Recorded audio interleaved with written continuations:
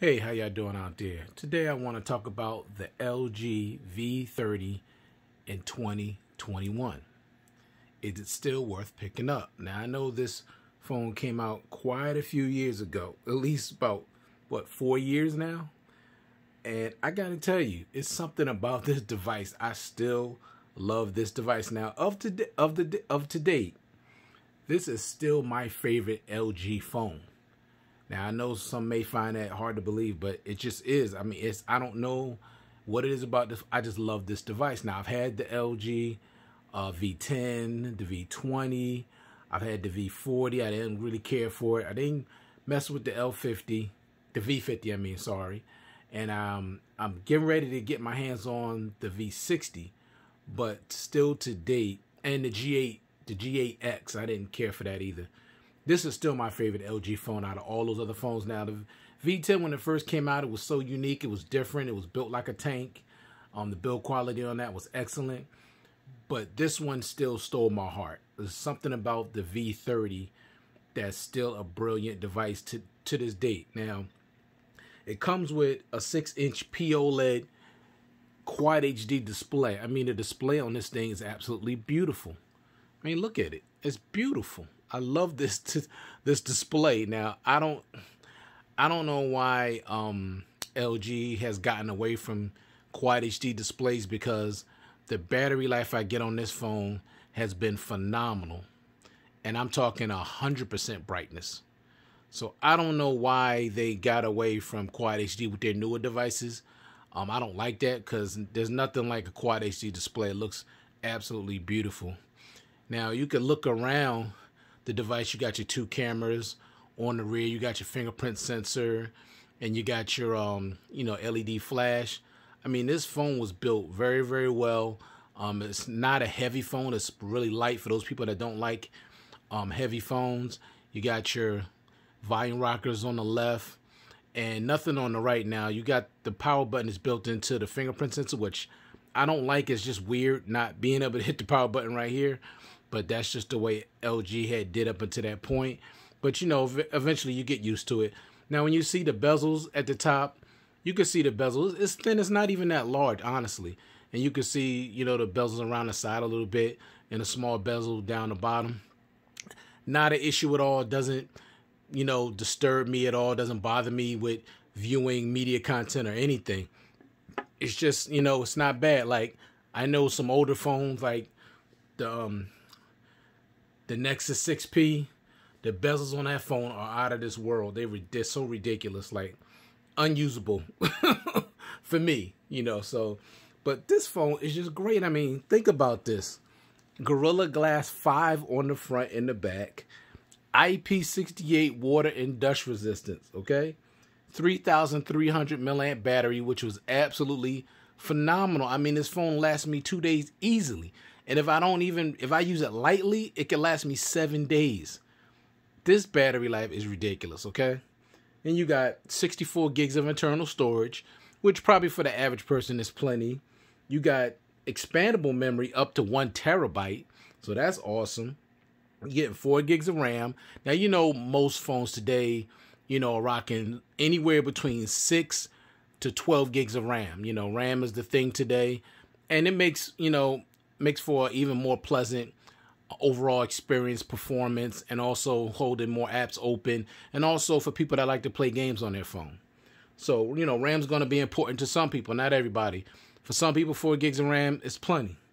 Then you got the fingerprint sensor which i talked about on the back that works very very well. Let me show you to you. Now i'm not saying it's the fastest in the world but it works. It's 100% accurate not the fastest, but it is 100% accurate. Okay? All right. You got face unlock. Now, face unlock works very well. I'll show it to you. It, that's not slow at all. That's pretty quick, especially for a phone this old. Look at look how fast that works. So the face unlock works great. Okay. Now I don't know why um, LG with their last, I think, three flagships have taken away face unlock from their phone. I don't understand that. I don't get that. You know, that's a you know um, a flagship a flagship feature. So I mean, if you have a front facing camera, why would you take away face unlock? So I don't get that. You got Bluetooth 5.0. You're getting a headphone jack down at the bottom. No, I'm sorry. This is where LG still had it at the top. So it's at the top right here, 3.5 millimeter headphone jack with a built-in 32-bit hi-fi quad DAC that sounds absolutely amazing. Even to this day, that quad DAC on this phone still sounds absolutely amazing. It sounds way better than Samsung's uh, equalizer, you know, their 32-bit system on their phone. This sounds much, much better. Okay? You got your always on display, which I'll show you, which LG, in my opinion, makes the um, second best always on display in the business. Samsung is number one, but LG is right behind them. I love that. Love that always on display. Nice and big and bright. And um, now, as far as Android and software updates, now this the last update for this device was Android 9, unfortunately.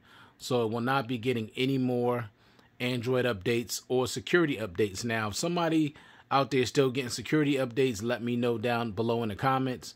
Um, but I haven't received one since 2019. And, you know, to me, the two biggest downfalls um, or issues I've had with this phone would be there's no more software updates and that speaker at the bottom is just not good. It's just blah. okay? Now, let's talk about one of the things that people like about this phone also is the cameras. Now, the cameras on this device were absolutely great. Like I had a great experience with these cameras, even the front facing camera. And I know people have complained saying the front facing camera was trash, but I'm just telling you with my experience with this and the pictures I've taken with the front facing camera, took great photos for me. I can't speak for other people and their experience, but the front facing camera, I had no issues with it whatsoever. And the rear cameras were absolutely, I mean, just phenomenal. Like, let me see if I can pull up some pictures real quick to show you. Let me see what I got in here. Alrighty. Okay. Here's a picture of me and my baby. Another picture here. These pictures came out very, very good. I don't know how well you can see them through the camera. But I like the photos that this thing took.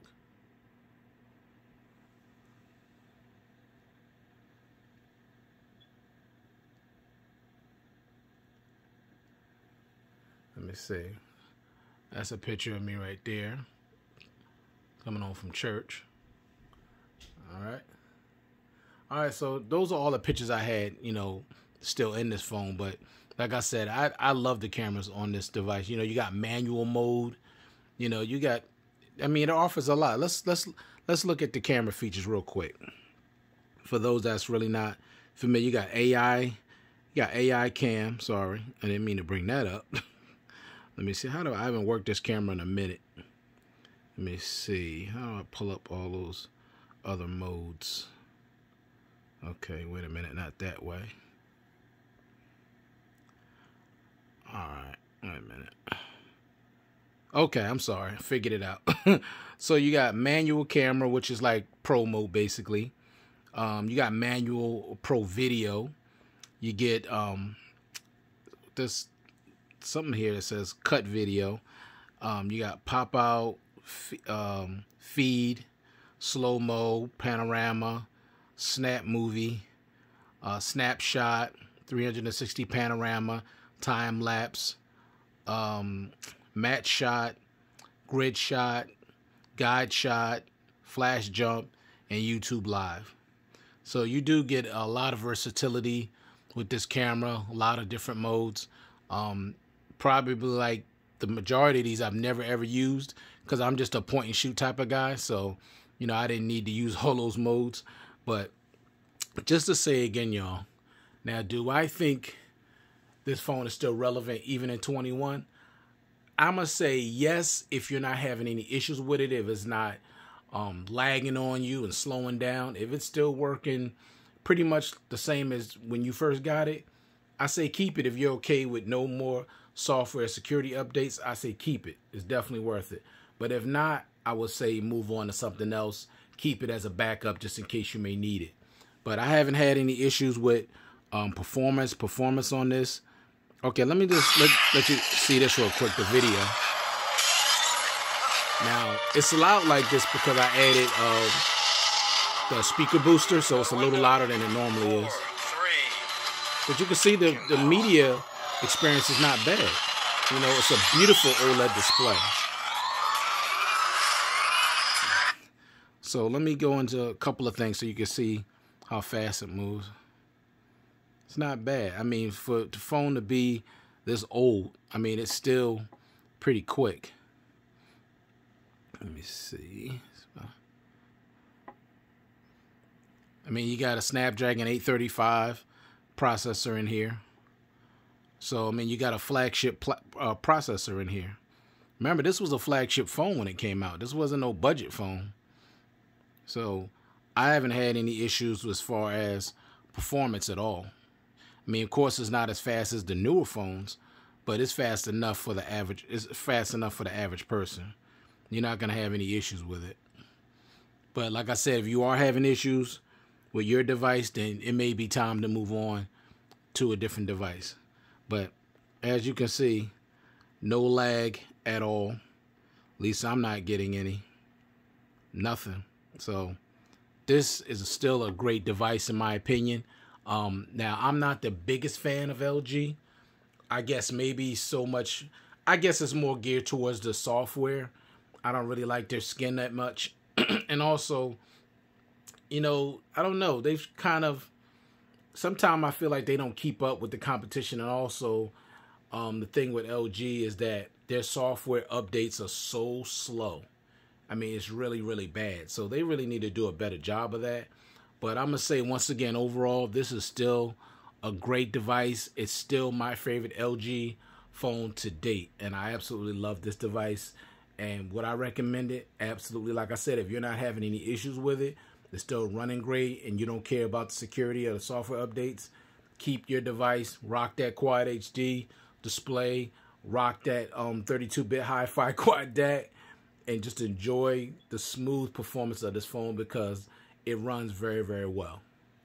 All right, so that was my quick, um, you know, just want to talk about the LG V30 in 2021. And I do thank you guys for taking the time to view this content. Hope you guys are staying safe, and I'll check you guys out in the next one. Peace.